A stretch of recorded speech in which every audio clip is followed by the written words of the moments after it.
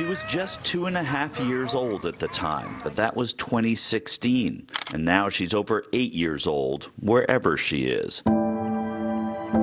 She's always smiling. She's always getting the attention of anyone around her, strangers. She's waving at people, and people are waving back at her. The gut wrenching problem is that sweet Arianna Fitts family doesn't know where she is. But those people who love her believe that she is out there somewhere. 100%. I believe 100 uh, that uh, Arianna's alive. She's somewhere she doesn't belong. She belongs home. She belongs with her family.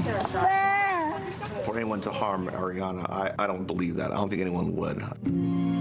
But harm is a brutally sad part of this story because Arianna's disappearance is tied inextricably to a story of murder, the unsolved murder of her mother, Nicole Fitts.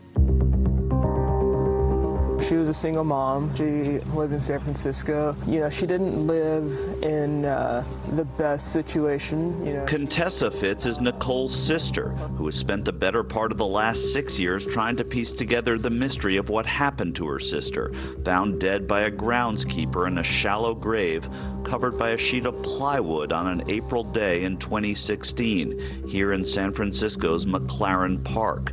Contessa recalls with cruel clarity the moment the officer told her about her sister. he says this is the hardest thing I have to tell you. I don't even let him finish because I knew what he was going to say. And in the blur of that numbing and life altering news, the realization that no one knew where Arianna was. With barely even any time to process, you know, what we've just been told, we ha- we have to figure out where Arianna could possibly be. Nikki had gone through a housing crisis, basically a housing emergency, and the situation that Nikki had found herself in was temporary. Claire Bonner was Contessa's long term partner at that time, close to Nicole and really a relative to Arianna. She's my niece, and she's just a bright, bubbly kid. Arianna had that effect on many people, so much so that it became a problem and one that perhaps explains her disappearance. Approaching everyone, and just everyone falls in love with Arianna the moment they meet her.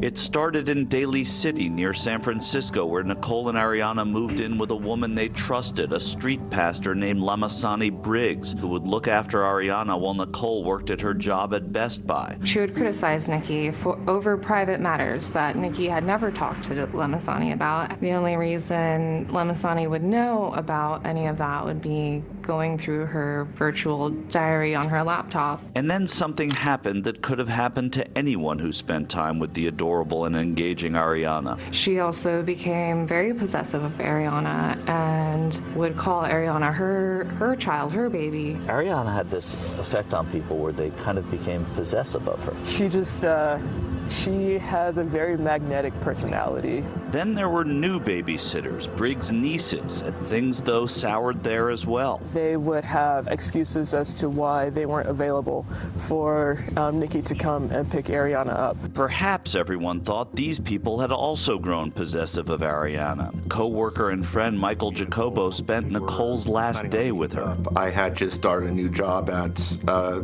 the Conservancy, uh, National Park Conservancy, which actually we working on Alcatraz.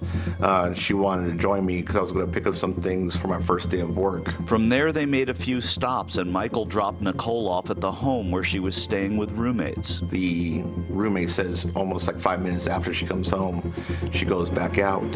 Her roommate saying that a text message from the babysitter drew Nicole outside, and that was the last time anyone saw Nicole Fitts alive.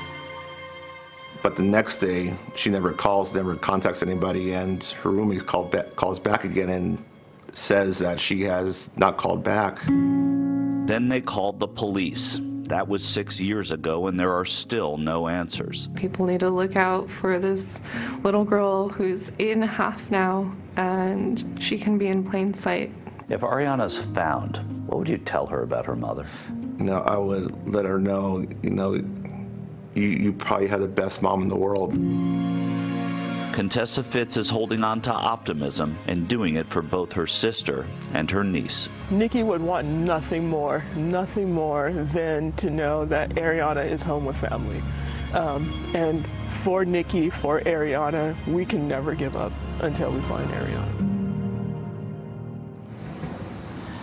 Marty, Marty, the uh, you know again these these stories are so difficult. Uh, the San Francisco Police Department is offering a one hundred thousand dollar reward, and Best Buy, the company where Nicole worked, is still holding on to hope that they will find uh, Arianna somewhere. They've offered ten thousand dollar reward, and that reward, uh, as con was confirmed to us even today, that it's still a reward six uh, six years later, six years after this happened to Nicole, and when uh, Arianna disappeared disappeared. So the mystery uh, keeps going, and that's why we do these stories to keep the attention on these kids and these missing people. Marnie? Such a delightful, beautiful little girl. Uh, let's hope some eyes on this story tonight help with the investigation. Michael, thank you. And if you have any information on the whereabouts of Arianna Fitts, call the San Francisco Police Department. We have that number on your screen.